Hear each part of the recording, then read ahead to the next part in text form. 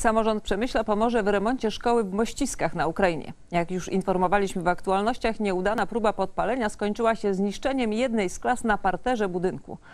Po wizycie w Mościskach i rozmowach z dyrekcją placówki prezydent Przemyśla zadeklarował też pomoc w zainstalowaniu monitoringu, który pomógłby w uniknięciu podobnych sytuacji w przyszłości. To jedna z największych polskich szkół na Ukrainie. Uczy się w niej ponad 200 dzieci, głównie z polskich rodzin.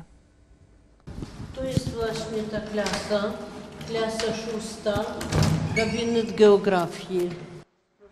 Tak ciągle wygląda jedna z klas polskiej szkoły w Mościskach. Nieznani sprawcy wrzucili do środka pojemnik z łatwopalną substancją i palący się kawałek materiału.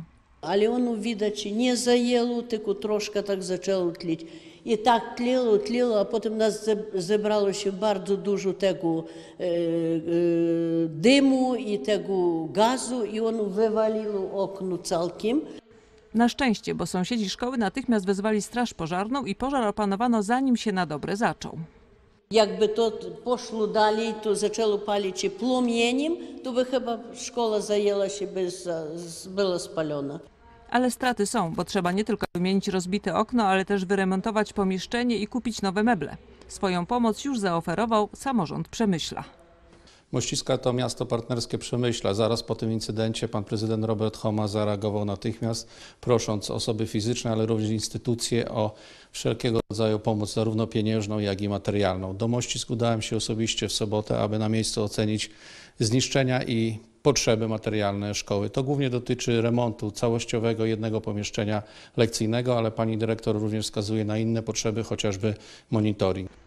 Bo choć trwa śledztwo, to na razie nie udało się ustalić sprawców. Nikt nic nie widział, tym bardziej, że wszystko zdarzyło się w nocy. Jak to specjalnie tak rozbali, rozbić okno i rzucić tam benzynę nalali, tam gdzieś jakieś, jakaś bańka czy coś tam było. O i podpalili no i dobre jedno. nie wiem. Ja nawet nie Ja nawet nie słyszałam. Czemu tak? Kto chciałby spalić polską szkołę? Dlaczego? Moje dzieci się tam uczyły, chociaż jestem Ukrainką. Na razie w Przemyślu trwa szacowanie kosztów związanych z ewentualnym remontem i zamontowaniem monitoringu. Potem rozpocznie się zbiórka funduszy na ten cel. Pan prezydent polecił rozeznanie kosztów takiej inwestycji i lada moment przejdziemy już do konkretnych działań.